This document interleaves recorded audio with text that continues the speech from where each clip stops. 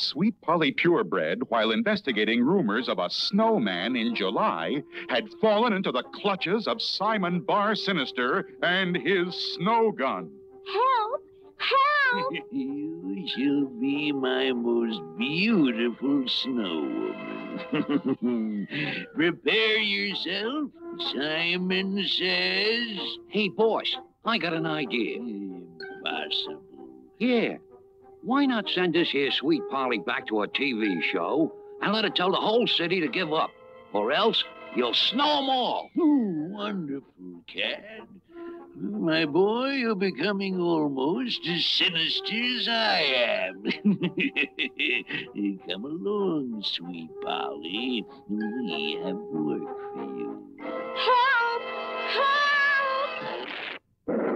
Meanwhile, high in the sky, the fearless underdog was searching desperately for Simon Bar Sinister.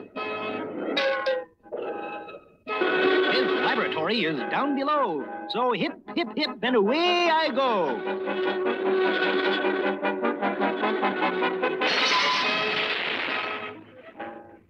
There's no need to fear. Underdog is here. Yoo-hoo, Simon, yoo-hoo, yoo-hoo. I have come to capture you. But Underdog was all alone. And in the heart of the city, at the bottom of the city's tallest building, Sweet Polly was telling her TV audience, Oh, dear viewers, atop this very building is the fiend Simon Bar Sinister with his snow gun. Unless the city does just as Simon says, he will turn everyone into snowmen and snow women. I want money and power, and money and power, and money and power. Yes, dear viewers, it seems that all is lost. Oh, where is our hero? Where, oh, where has my underdog gone?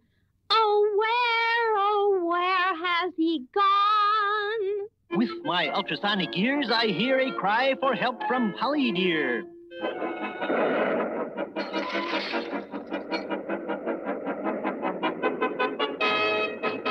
Oh, where, oh, where has he gone? There he is. Oh, thank goodness. It's Underdog.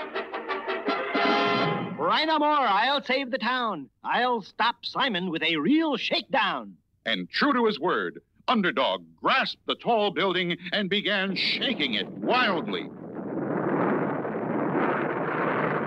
Wait! Stop that, you harebrained Hercules! You're shaking my whole building apart, with my tenants inside! All right, sir, I won't shake your place. I'll fight Simon face to face. Be careful, Underdog. Watch out for the snow gun. Had your fun. Now I'm stopping you and your snow gun. No one can stop the snow gun, not even you.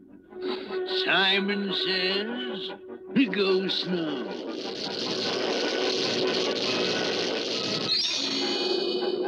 I feel the snow, but on I go.